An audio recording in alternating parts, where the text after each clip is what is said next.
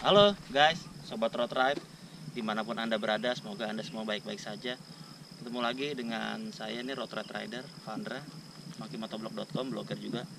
Nah sekarang di depan saya ini ada ini bro, motor baru Suzuki, Suzuki GSX S150 bisa dibilang baby GSX S di mana emang udah ada GSX S750 dan GSX S1000 ya mana ya Jadi ini yang megang kamera sobat road ride juga yang rider yang keren juga. Satu lagi yang mau merit nih Bro Irwan.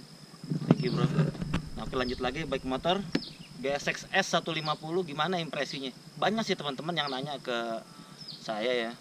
Secara kan mungkin mereka teman-teman juga tahu kalau saya blogger yang juga rider Thunder 250 gitu kan. Motornya gimana sih? Suzuki GSX S ini. Nggak usah banyak cincong kalau kualitas motor Suzuki nggak ada yang perlu diraguin lagi. Semua build quality mau plastik mau besi mau finishing mau genggamannya karet-karetnya semua tuh kualitasnya nomor wahid lah nomor satu lah udah nggak usah diraguin. Durabilitasnya bisa dibilang udah oke banget lah. Terus motornya sendiri secara desain. Kalau saya bilang lagi-lagi nih Suzuki bisa konsisten dengan membuat desain motor yang everlasting dari dulu sampai sekarang tipe GSX tuh gitu. Agak-agak ceper depannya streamline streamline gitu set sampai ke belakang ngalir terus gitu. Baik yang sport maupun yang apa istilahnya tuh naked semuanya gitu yang jadul yang klasik modelnya bisa sama. Biarpun ini ditutup nih emblem Suzuki ini ditutup nih nggak ada namanya sama sekali. Kalau lihat nih motor dan dia biker ya dia pasti tahu ini motor Suzuki di secara desain udah kayak gitu. Ada yang bilang perkara headlamp headlampnya mungkin wagu segala macam wagu tuh bahasa Jawa yang nggak jelas gitu kan. Tapi kalau diliatin terus-terusan lama-lama wah keren juga sebuah karakter. Apalagi dilihatnya dari depan dari spionnya. Bukan ngeliat ambulan yang jelas ya tapi ngeliat depan ngeliat lampu depan. Gahar beda sama motor-motor lain. Di sini Suzuki emang udah bisa berani ngasih opsi yang beda dengan menawarkan motor yang headlampnya unik ceper seperti Predator. Uh, ini coba headlamp ini dipasang di moge. Pasti yang banyak bilang wah Sugomi style segala macem. Karena di pego aja jadi banyak yang sedikit. Nggak ada nada sumbang gitu kan. Desain udah terus performa. Nah, tadi saya juga perjajal sempat jajal sob pas berangkat. Ini kan unit kan dipinjemin PT Suzuki Indomobil Sales ke masih WB masih wanwanaran.com jadi saya tempat jajal tadi performa bagi teman-teman yang udah jajal GSXR udah nodap lah. RPM kecekek di 13.000 cuman kayak nggak kecekek cuman speednya nggak naik doang. Cuman kayak ngeng gitu. Itu speed juga nggak turun cuman ketahan doang. Beda sama motor-motor lainnya kayak ada RPM ketahan langsung turun langsung turun langsung turun langsung turun. Gemes jadinya gitu kan. Kudu shifting kudu shifting. Kalau ini enggak kayak cuman ketahan doang gitu. Tapi kalau apa ya kalau ditanjakan tadi saya sempat jajal juga kalau dari bawah nggak melintir gasnya nggak kurang oke okay, dia sedikit sedikit naiknya agak pelan ngayun santai. Cuman begitu di atas RPM 6000 udah melejit lagi dah powernya udah keluar. Muntah-muntah sampai muntah-muntah. Pokoknya intinya sama lah kayak GSXR cuman dengan por, dengan menawarkan uh, riding ergonomik atau kenyamanan yang lebih nyaman dari GSXR gila ini gue semutin cuy. Nah terus lihat contohnya begini. Didudukin. Stang bisa dibilang tinggi tinggi nyaman. Untuk ukuran tinggi badan saya itu 167 tangan bisa menggapai stang dengan rileks gitu kan ya. Stang juga bentuknya nggak terlalu lebar nggak terlalu pendek. Enak. Pas lah digenggam segala ngeliat ke depan gampang. Nah ada satu yang jadi sedikit ganjel gitu loh. Kayak sebenarnya sih nggak ini ini banget sih cuman agak ganjel aja. Nih ya itu full step nih. Nah ini jarak full step ke jok itu relatif deket ya untuk motor-motor naked bike. Jadi tekukan dengkul nih berasa nekuk banget. Efeknya kalau emang udah agak kelamaan bisa bikin agak pegal dan bisa bikin agak-agak sedikit-sedikit kesemutan geli-geli basah gitu. Nah kayak aku gini. Baiknya sebenarnya sih emang Suzuki ngasih opsi. Joknya kalau bisa mungkin ya agak ditinggiin sedikit lah supaya atau mungkin mungkin di nextnya next produknya ini agak di kedepanin sedikit dan di, agak dikebawahin sedikit gitu. Tapi ya untuk motor yang baru dan berkarakter beda ya itu oke okay lah. Itu pilihan teman-teman. Terus juga nih joknya nih. Joknya ini nggak bisa dibilang empuk. Agak-agak keras lah.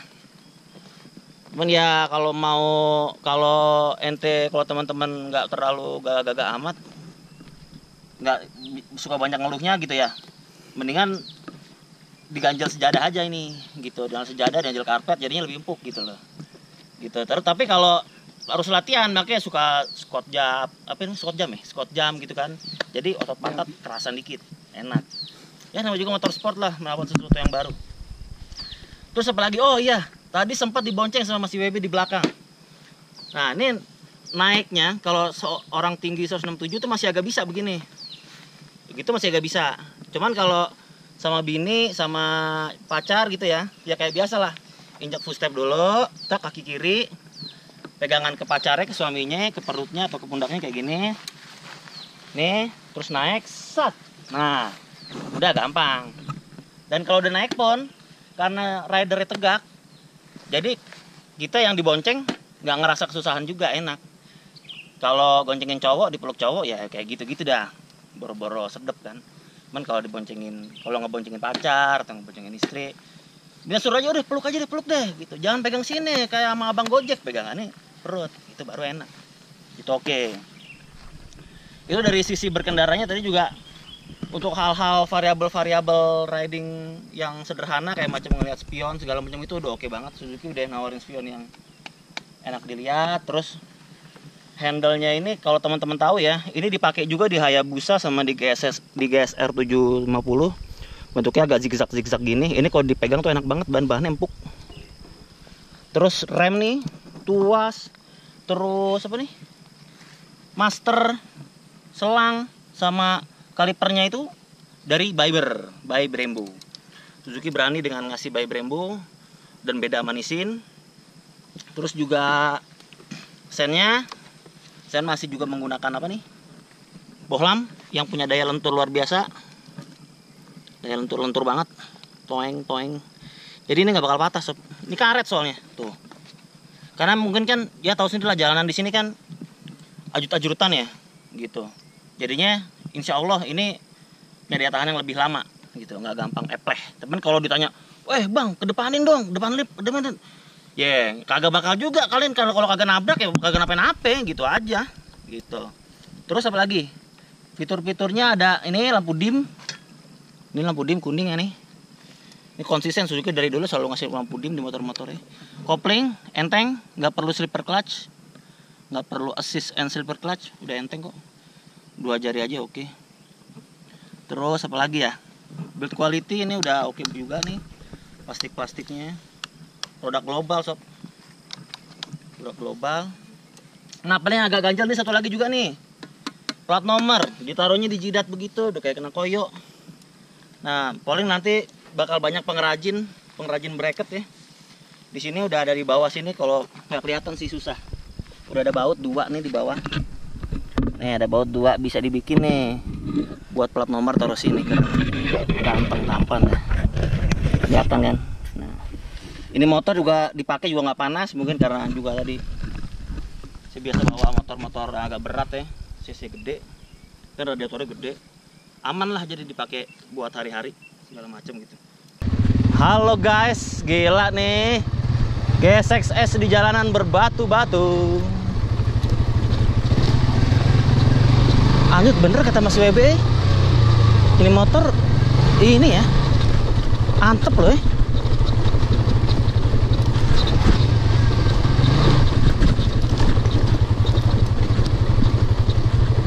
Antang.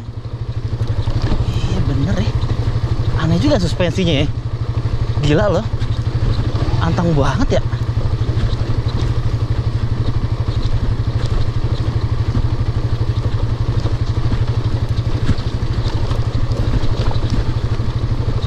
lebih gampangnya bener dari Thunder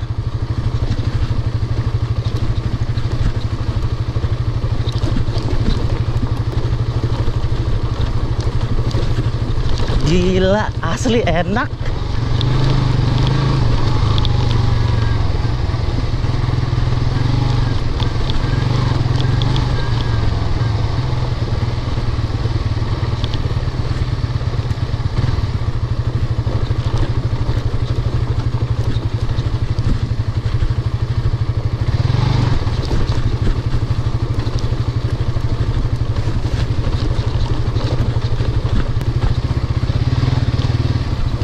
ground belum ada yang mentok dari tadi gile boleh juga ground clearance ini motor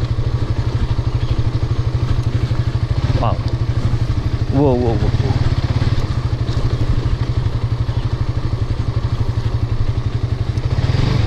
Oke, kalau memang ada yang ditanyain seputar GSXS, silahkan aja di road ride atau boleh PM MM blog di makimotoblog@gmail.com atau komen di komentar blog boleh. Nanti insya Allah MM blog jawab semua kok. Soalnya MM blog juga, soalnya saya sendiri juga bakal ambil ini motor. Jujur selama punya Suzuki udah kangen juga sama motor Suzuki yang baru gitu kan. Setelah lama vakum segala macem, akhirnya ngeluarin juga motor naked bike yang enak dipakai. Mesinnya dewasa overbore, ngitir FM tinggi aman, nyaman. Ah udah, kurang apa lagi? Harga 23 berapa Mas? 23,9 juta. Promosi Promosi sampai Maret. Harga orinya berapa? dua- 24,9. 24,9. Ya, udah. Kurang apa lagi coba. Dia sikat aja dah. Gampang motor Suzuki mah. Lu servis bawa ke bengkel, udah gampang, nggak nggak neko-neko, ganti oli, ganti oli, ganti busi, udah aman. Gue punya Thunder selama 11 tahun sob. Kagak kagak servis-servis tuh motor. Tadi aja tuh suaranya udah klotok-klotok kenapa itu?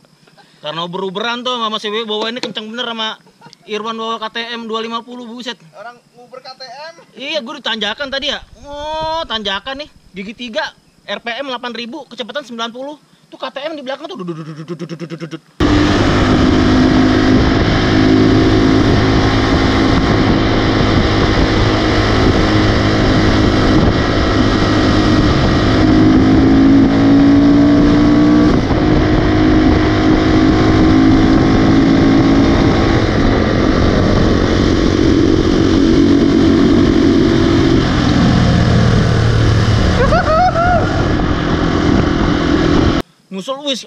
Ridernya ketawa-tawa lagi.